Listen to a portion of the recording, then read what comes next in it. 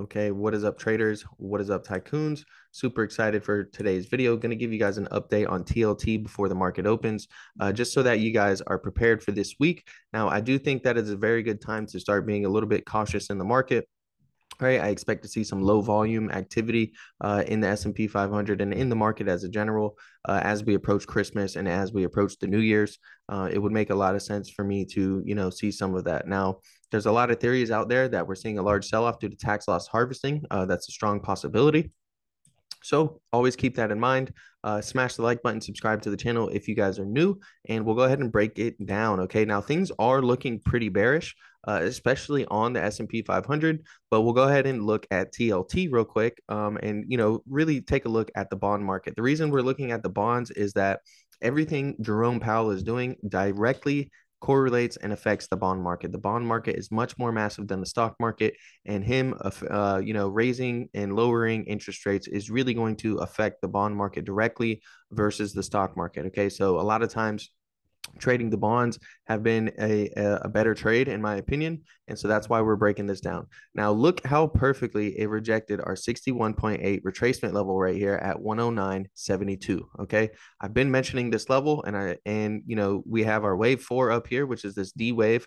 That's a corrective wave. So it should be an abc pattern right? So we have our a up we got our b down and then we got our c and we topped out perfectly at our 61.8 retracement level. That's a very very good sign right? We've already started to pull back on TLT, and we're currently holding the 50% level at 106.33. If we break this level, most likely we're going to head back down to 102.94. And we also have a gap here on the chart. Okay. These gaps, um, these are gaps on the daily chart. These fill about 90% of the time historically. The main question is when. Okay. Not if they're going to fill. They could fill sometime soon they could fill sometime very long in the future, right? It could be anywhere from days to months to weeks to years. Um, but what I like to do is I like to track them.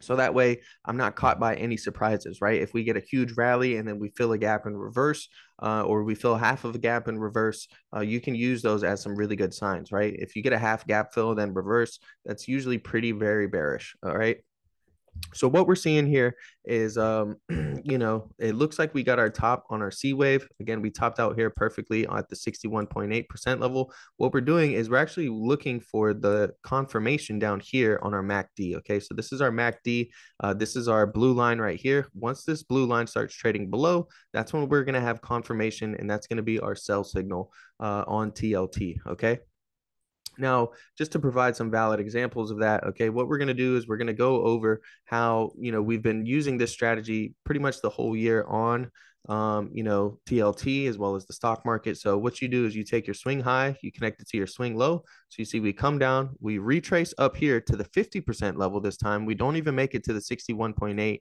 and then we head down lower, right? Um, and that is right when we got our MACD sell signal right here, when we broke below the 38.2 retracement level, and we see a huge, huge decline in TLT, right? So that's the reason we look at these three levels. These are the three most common retracement levels. Um, and just to show you guys how the patterns have been playing out, all right, we're tracking a large five wave impulsive move down. That's going to be our A, B, C, D, E down. Um, and your wave A, right? Your wave one and your wave three and your wave five are going to be five wave impulsive moves, right? And so you see it's been playing out. We have a one down, two up, three down, four up, five down impulsive wave. Then you get an ABC correction wave, right? And we get an A here, B here, C. We top out at 50%, and then we start our five wave impulsive move to the downside. And that's what we're doing right now. We got one, two, three, four, five, and then we got our ABC. So it's very possible that we topped out here and our ABC corrective wave is done. And this is just um, some mere consolidation before we break our major support levels and get that MACD sell signal. Okay. But until then, there's a possibility that we could just be consolidating and trying to head up higher. All right. Now, if we look at HYG, which is HYG is the high yield corporate bond ETF, Okay, HYG is at a critical level right now, uh, and we actually did get the MACD sell signal on HYG, right? So if we take a look at the MACD here, we got our sell signal, okay, and it's trading below the orange line now. Um, and we've been tracking, I'm tracking these two wedges right now. So we have the rising wedge right here, which is a bearish pattern. And as soon as we break this trend line here, we're going to come down and test these three levels. If we break through these levels, then we can expect for this wedge to play out and take us back down to our previous lows um, to test those lows or test an area near there, right? We have a little range right here uh, that we could, you know, find some support in but I'm going to be watching this one closely. We already got the MACD sell signal, so it does give me some hints that we could, you know, break through here and see a sharp drop in HYG. So I'm actually watching three main support levels. Again, they're the 38.2, the 50%, and the 61.8%. Uh, this is how you spot a trend reversal or a trend continuation. Okay, so we're tracking our swing low up to the swing high. And if we bounce at these levels and continue up higher, that's what's known as a trend continuation. Okay. But if we come down and break through these levels, then we're going to get our reversal, right? So we have a bearish pattern setting us up for the reversal, but we need to break through 74.30, 73.56, and 72.82 right? It looks to me like we had a look above and fail on this bullish pattern known as the falling wedge. So we are really consolidating in between this area and we are looking for a breakout to the upside to see, you know, if HYG and the bonds and, you know, the stock market could continue to rally. Uh, but it looks to me like we got a very clear look above and fail, right? So we looked above and then we failed and we're actually trading back inside of this trend line that we've been respecting very much. So keep an eye on 74.30. If we break that level, uh, it's going to be a pretty bearish signal to the market. Uh, the next one I want to look at is TNX. TNX has been looking very bearish as well. We have a head and shoulders pattern fill, uh, playing out right here. Uh, and so, you know, you can see your head and shoulders right here. Uh, we have your left shoulder, you have your head, all right, you have your right shoulder, uh, and it's playing out. Now, you could say that it is played out fully, right, and that it started right here. But to me, I think that we're going to come down and fill these two gaps. Uh, I think that there's a pretty strong possibility of it. It kind of looks like we have a bear flag forming right now okay? Something like this. And if we break this trend line right here um, i think that there's a strong possibility that we could see tnx come back down to like 3.151 okay? Um, you know so just some more things looking bearish. Now one thing i do want to highlight is that the macd is very close to curling back above here and giving us a buy signal okay? So we could see the tnx actually start to rise here. Um, you know so I'll, I'll definitely be watching that uh, to see if that happens. If if that gets if we get a buy signal on TNX, uh, that would be pretty interesting to see how that's going to affect the market. Okay, um, we're going to look at the S&P 500 right now and then take a look at the VIX. Uh, so, you know, the S&P 500 looks very similar to TLT. There is a few things different, but ultimately we're tracking the same things. We're tracking this one, two, three, four, five impulsive move to the downside okay um, and that would take the s&p 500 to about 350 to 330 um, uh, you know at least if if everything you know plays out and we get this really bearish bearish market uh, that you know the treasury bonds are predicting and the bond market is predicting in the future Okay.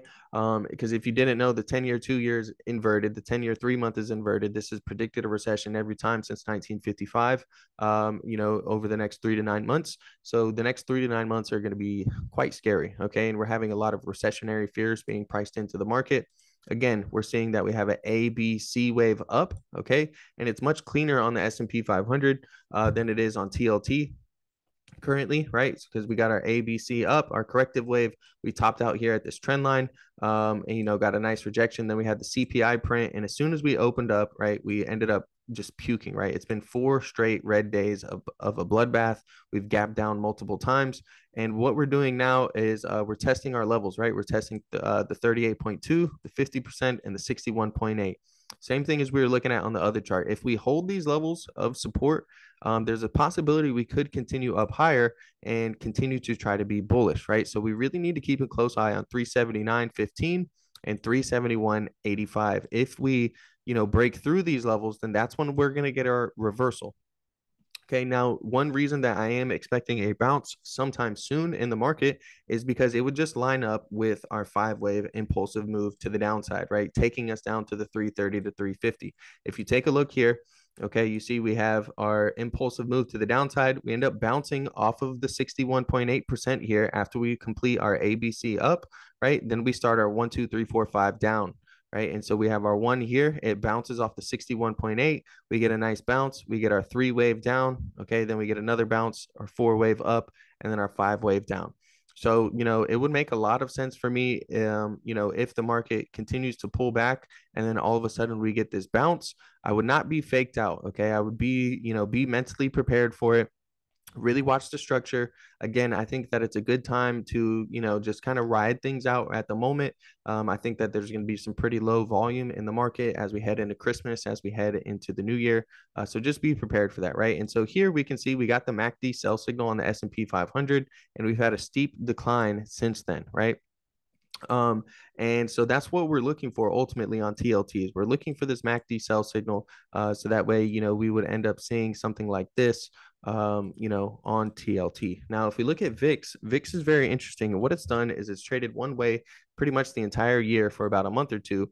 And every time it's done it, it's broken out and pulled back. So if we look currently, right, we have a breakout, we got a sharp pullback, okay, on the volatility index. And possibly, you know, we could be ready to take off on the VIX, okay. Uh, just to give you guys some examples, you know, and what I mean by it's it trades very one directional. We're looking here, it's trading in one direction for about a month or two.